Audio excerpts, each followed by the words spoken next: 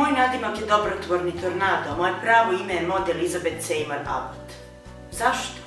Moje kolege su mislile da sam ekscentrična, ali moje aktivnosti i moj rad su smatrali veoma ozbiljni i zato su mi i dali taj nadimak. 1894. godine sam diplomirala za lekara sa počastima na Bishop univerzitetu i bila sam jedina žena u svojoj klasi. Nije bilo lako.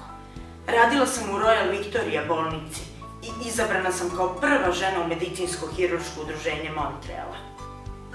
Nakon nekog vremena otišla sam na posle diplomske studije u Beč.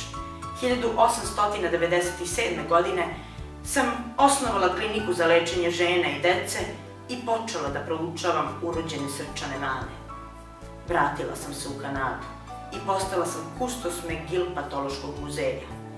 A 1905. godine sam napisala poglavlje kongetinilne bolesti srca u dr. Oslerovom sistemu moderne medicine. Postala sam priznati autoritet kongetinilnih bolesti srca, a muzej prvoklasno nastavno sredstvo za studente medicine. Bilo je jasno, udala sam se za profesiju. 1936. godine sam napisala Atlas urođenih bolesti srca sa novim klasifikacionim sistemom i hiljadu kliničkih i autopsijskih nalaza. Drago mi je što ste 2006. godine uradili reprint mog atlasa. Rekla sam i zapisala na marginama moje knjige Botany Book 28. septembra 1887. godine kada sam imala 18 godina. Cilj mora biti najviši i stići ćete na nešto iznad mediokriteta.